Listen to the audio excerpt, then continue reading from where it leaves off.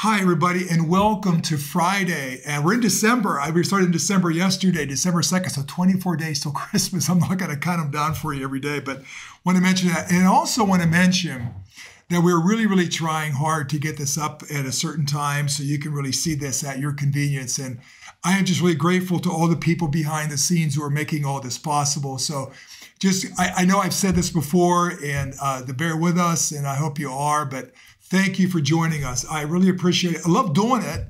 All of us love doing it. Like I love writing these things up and everything for you, but I just hope that uh, you can bear with us. So we're going to get all this right, and each day we'll be really consistent in what time we get things up for you. In the name of the Father, the Son, and the Holy Spirit, Amen. The Lord be with you. So here we are in the midst of Advent. Jesus wants to break into our lives. What are we? What are we doing to stop that stops him from breaking into our lives? Let's ask him now for his mercy. And Lord Jesus, you are the way. Lord, have mercy. You're the truth. Christ, have mercy. And you are the life. Lord, have mercy. And may Almighty God have mercy on us, forgive us our sins, and bring us to everlasting life. Amen. Let us pray. Stir up your power, we pray, O Lord, and come, that with you to protect us, we may find rescue from the pressing dangers of our sins, and with you be set free, that we may be found worthy of salvation through our Lord Jesus Christ, your Son, who lives and reigns with you in the unity of the Holy Spirit, God, forever and ever. Amen. A reading from the book of the prophet Isaiah. Thus says the Lord God But a very little while, and Lebanon shall be changed into an orchard and the orchard shall be regarded as a forest. On that day the deaf shall hear the words of a book, and out of gloom and darkness the eyes of the blind shall see. The lowly will ever find joy in the Lord, and the poor rejoice in the Holy One of Israel. For the tyrant will be no more, and the arrogant will have gone. All who are alert to do evil will be cut off those whose mere word condemns a man. Who ensnare his defender at the gate and leave the just man with an empty claim? Therefore, thus says the Lord, the God of the house of Jacob, who redeemed Abraham. Now Jacob shall have nothing to be ashamed of, nor shall his face grow pale. When his children see the work of my hands in their midst, they shall keep my name holy they shall reverence the Holy One of Jacob and be in awe of the God of Israel. Those who err in spirit shall acquire understanding, and those who find fault shall receive instruction. The word of the Lord. The Lord is my light and my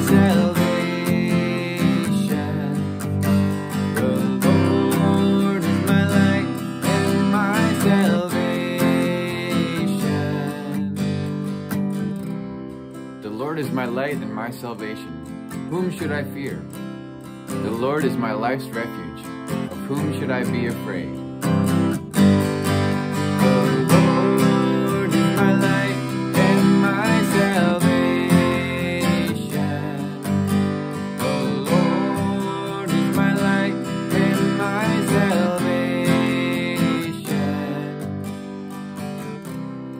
One thing I ask of the Lord, this I seek dwell in the house of the Lord all the days of my life, that I may gaze on the loveliness of the Lord and contemplate his temple.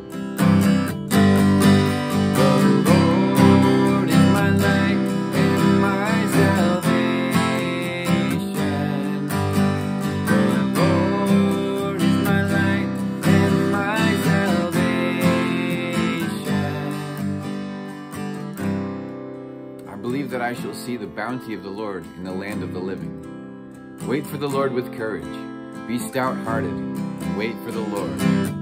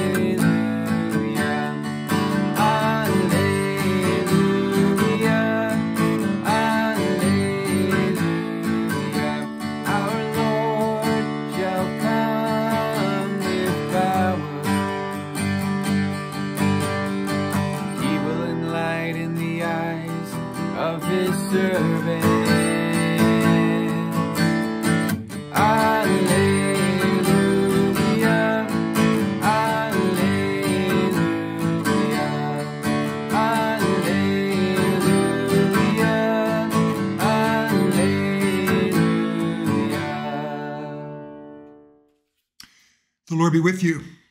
A reading from the Holy Gospel according to Matthew. Glory to you, O Lord.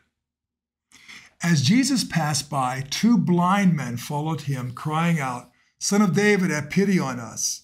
And when he entered the house, the blind men approached him, and Jesus said to them, Do you believe that I can do this for you? Yes, Lord, they said to him. Then he touched their eyes and said, Let it be done to you according to your faith. And their eyes were opened. Jesus warned them sternly, See that no one knows about this. But they went out and spread the spread word of him throughout all the land. The gospel of the Lord. Praise to you, Lord Jesus Christ. So, the, the scripture scholars use all different kinds of tools to be able to dig into the deeper meaning of the scriptures and what the author intended when he wrote all this 2,000 years ago. And some of those tools are called the historical critical method.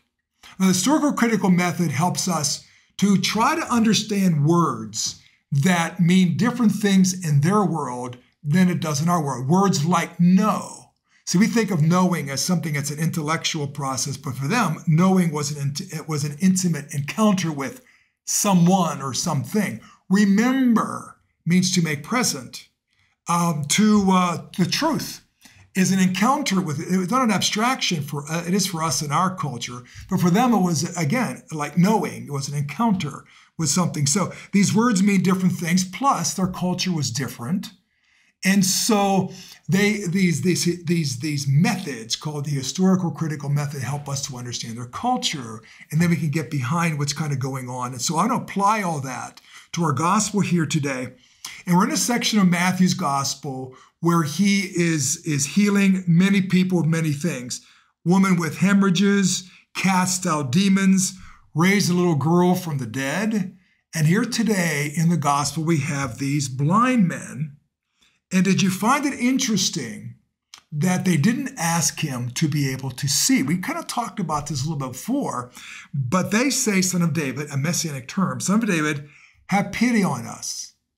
Why did they say that? Why didn't they just simply say, Lord, help us to be able to see? Because they believed in those days, the reason why someone was blind was because they did something really, really bad. And because they did something really, really bad, they were blind and they could not read the Torah.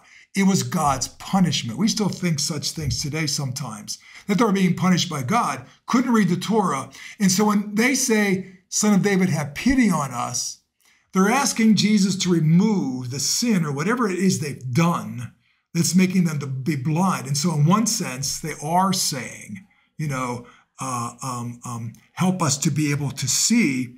And so Jesus asks the big question. This is the key now. This is the key. Do you believe I can do this? Now, here's where we get into the revolution of Jesus versus what they believed and what Jesus was teaching. And here's a quote from uh, John Craghan's book, his commentary, where he says, This account must remind believers that faith consists in much more than a list of propositions that one accepts and one can recite at the proper liturgical occasion, kind of on, on automatic pilot half the time, too. Faith is first and foremost acceptance of a person. Believers ground themselves in the person of their God and thus then prepare to accept the articles of faith. Who finally is this person to whom believers commit themselves entirely? Perhaps the two blind men serve as a fitting response to this question. They are rooted in the person of Jesus, the Lord and the Son of David not in some religious propositions. And because they're rooted in a person, Jesus asks, Do you believe I can do this for you? Yes. It's the faith in a person, a relationship with a person. He shows mercy and brings sight. He heals them and brings them sight. And, and the first reading today uh, tells us what the Messiah is supposed to do. And here's Jesus, the Messiah. It says, And out of gloom and darkness the eyes of the blind too shall see the lowly shall find joy in the Lord. The poor rejoice in the Holy One of Israel. For the tyrant will be no more, and the arrogant will be gone. And they meet this person of Jesus, and all these things begin to happen. Now, there's one uh, second part of all this. Jesus warns them at the end not to tell anybody about all this, and they go out and they tell everybody. You know, why why did they ignore Jesus so much? Well, or why did Jesus tell them that might be the better question. Because he doesn't want them to get the wrong idea. They're looking for a political, military, uh, nationalist kind of a figure to restore Israel, kick out the Romans. Jesus didn't have any of that in mind. And so he's trying to get them not to get a wrong idea of who he is. So he tells them to be quiet until they begin to see a much deeper understanding of who he is and all this. So, the little explanation about that. And again, as he has done all the way through, he just just shatters their preconceived notions all over the place. Here's my questions for my one question for today. How will Jesus heal you of your spiritual blindness? Your spiritual blindness here this Advent. So God bless you and thank you for joining us today. I'm so grateful. See you this weekend, by the way, second Sunday of Advent. We got a lot of stuff to talk about, a lot of things to give you, a lot of things to do. Looking forward to seeing you. And those who can't join us at Mass and our Mother of Sorrows, we'll be glad to see you right back here once again. Goodbye now.